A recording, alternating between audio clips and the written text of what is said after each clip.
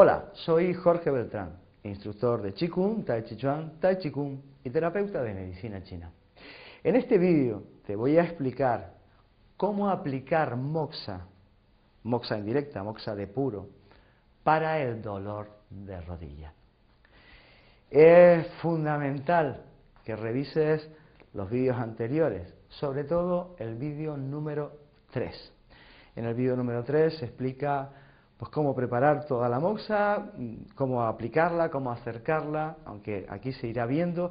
Es necesario que, si no lo has visto, por favor revísalo, es un vídeo cortito, y luego pases a, a este vídeo. En el número 4, en el vídeo número 4, hablamos de cómo subir defensas, y en este vamos a intentar ayudar a aplicar moxa eh, para el dolor de rodilla. Eh, es interesante también pues, que sepas qué te pasa en la rodilla. Por supuesto, si tienes algún tipo de bulto que no sepas lo que es, nunca se da moxa sobre los, los bultos, siempre hay que revisar eso. Y en este caso es una gran ayuda, es una gran ayuda para las personas que tienen enfermedades degenerativas en las rodillas.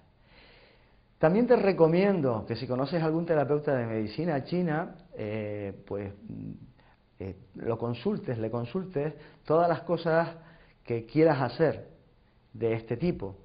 Estos vídeos son informativos, te van a ayudar, ayudan siempre. La moxa para, para el dolor es una maravilla, va a ayudarte. No, mm, a lo mejor no esperes unos resultados de una recuperación total, o a lo mejor sí, ¿vale? Es una ayuda.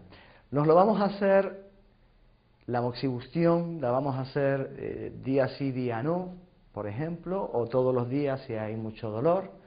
Si las rodillas están muy frías, todos los días, sin ningún problema, hasta que mejore el, dolor y mejore la patología en sí. Mm.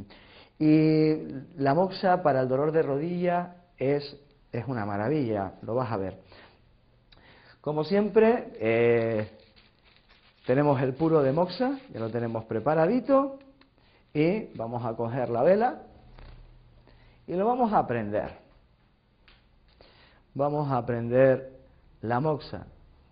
Te recomiendo que veas el vídeo número 3, te lo acabo de comentar, pero eh, es interesante que lo veas antes de continuar con este.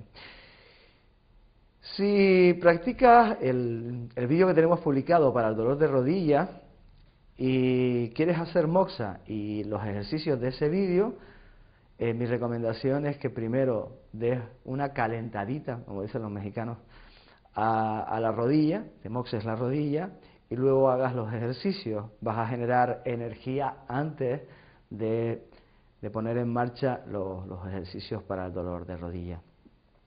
Se puede utilizar en todas las patologías y si tienes algún tumorcito y demás, ni tocarlo.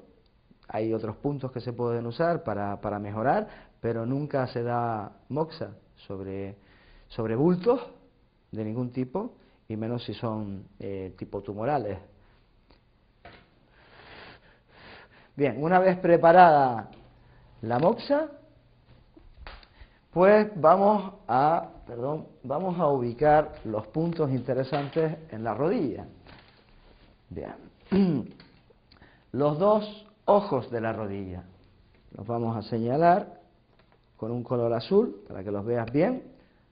Son dos huecos, el de fuera está muy pronunciado y el de dentro a veces queda un poquito más escondido. Se flexiona un poquito a esta altura y ya los tienes que tener localizados y luego justo en el borde de la rodilla vamos a ubicar un tercer punto también muy interesante. Para trabajar con moxa. Luego hay personas que tienen molestias en lo que yo llamo la sonrisa, eh, que es esta parte de aquí, ¿vale? Pues lo que vamos a hacer con la moxa es muy sencillo. Pero que se vea, que se vea bien, tenemos los dos ojos de la rodilla y la, y la sonrisita. Y en la parte alta tenemos un punto, un punto fuera de canal, el punto de, de, arriba y el de dentro corresponden, son fuera de canal y el punto, el punto de fuera corresponde al, al canal del estómago. ¿Qué vamos a hacer? Muy fácil. Vamos a acercar la moxa, como unos 2 centímetros, y vamos a pararnos en el agujero externo, por ejemplo, para empezar, hasta que notemos un poquito el calor y empezamos a bordear la rodilla, hasta que lleguemos al otro de arriba. Y aquí nos vamos a parar otro momentito. Cuando notemos el calorcito, seguimos, seguimos bordeando hasta que lleguemos al interno. Pongo así para que se vea mejor. Eso es a unos 2 centímetros. Cuidado con quemarse, muy importante. Y luego ya vamos bajando y bordeando la rodilla. Así sería la moxibustión para el dolor de rodilla. Eso sería una manera de hacerlo. Si tenemos puntos de dolor localizados, por ejemplo, tengo un punto de dolor en la rodilla por aquí abajo, pues doy la vueltita y cuando llegue a ese sitio me vuelvo a parar, estoy un momentito ahí, hasta que note el calor y sigo los círculos. Así vamos trabajando toda la rodillita.